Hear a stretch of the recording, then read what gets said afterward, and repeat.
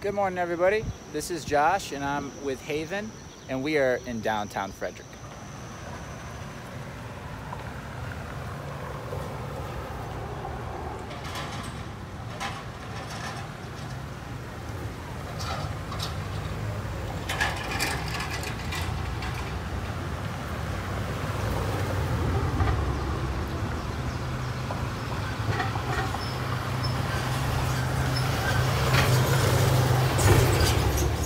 Haven is a very nervous German Shepherd who is very easily spooked of the world around her, especially the noises of the street.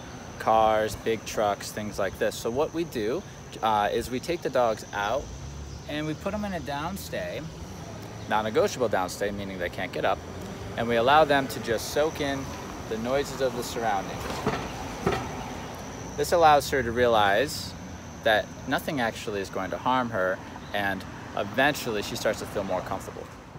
We also do the heel command down here where we'll walk on the busy streets so we're kind of in constant command other than potty breaks. She's either in a heel or in a downstay, both non-negotiable, meaning if she leaves the position, we can correct on the e-collar. This keeps her from going into fight or flight, which allows her to experience the scariness of the city without running away which then in turn allows her to view it from a different light, meaning she gets to see that she's not really in danger. And so therefore she starts to relax. But this takes time. You have to be patient. You have to be willing to go out and spend a lot of time. See all these head turns. She's very concerned, right? This stuff goes away, but we need to come out here more and more.